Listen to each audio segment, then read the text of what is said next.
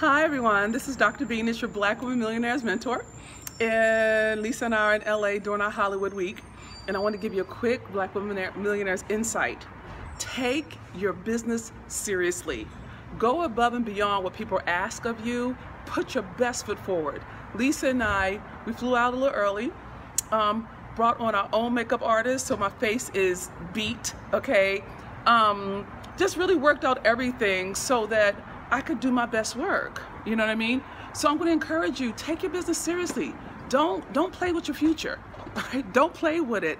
It could be the difference between your confidence and your commitment. You know what I mean? So you want to do your thing, set yourself up to win. That's all I got. Wish me luck. Ah, here we go, Hollywood. Goodbye for now.